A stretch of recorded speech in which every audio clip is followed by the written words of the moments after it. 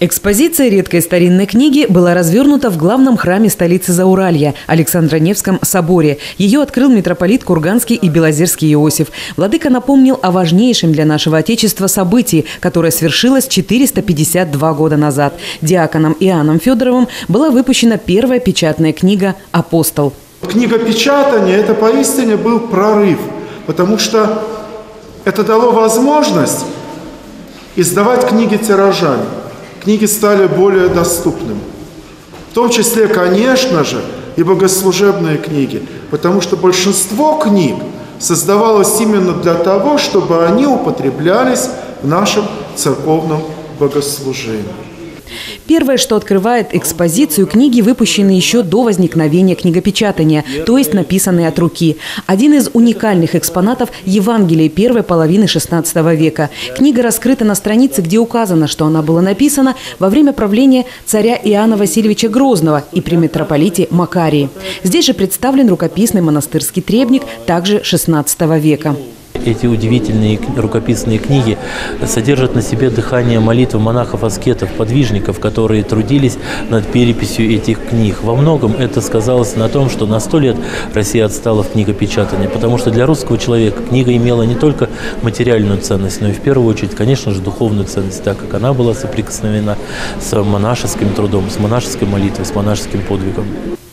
Редкий экспонат выставки «Острожская Библия» – это первое завершенное издание полного текста Библии на церковно-славянском языке, опубликованное в 1581 году в Остроге русским первопечатником Иоанном Федоровым. До наших дней сохранилось не более 350 экземпляров. Спустя столетия мы имеем уникальную возможность созерцать один из них.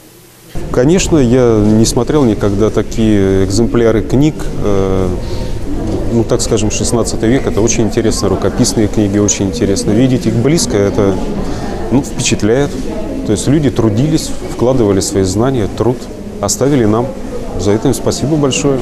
Спасибо людям, которые сохранили все это для нас и показали сегодня.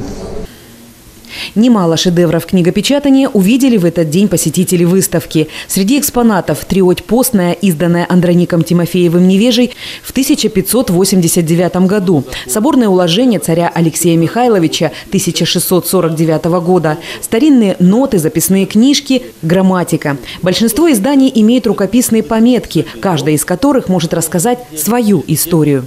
На этой книге мы видим запись 1670 1906 года.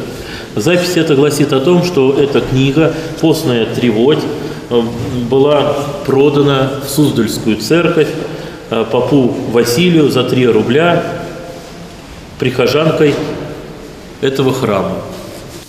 Организованная Курганской епархией выставка – не разовое мероприятие. Эти уникальные книжные памятники увидят жители многих уголков Курганской области. Для тех, кто не успел посетить экспозицию в столице Зауралья, экскурсия по выставке «Редкая старинная книга» состоится в Богоявленском соборе, что на реке Тобол, в ближайшее воскресенье 27 марта в 13 часов.